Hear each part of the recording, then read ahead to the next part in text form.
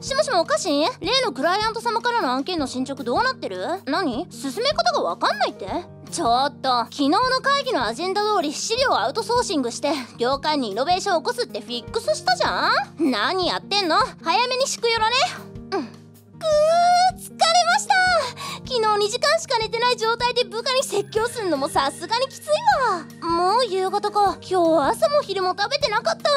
まあいつものことだけど。うっす信姫ちゃん。偶然だね。あ N さんお疲れ様です。ねえお腹減ってる？おやつでも食べない？いいですね。実はちょうど小腹減ってました。ああよかった。スイーツ買ってきたから食べようよ。クリームブリュレ。食べていいからさ。今日俺と飲みに行かない？ダメ。ブリュレを見たらブリュレを見たら私。あ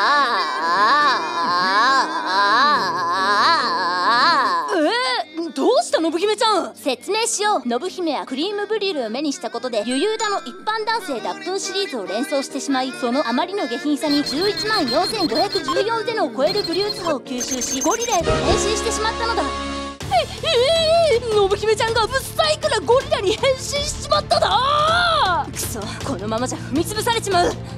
ごきげんよう。ハルト道明寺お前のことを散々岩盤に叩きつけたってのにもかかわらず助けてくれるのか？まあ問題ない。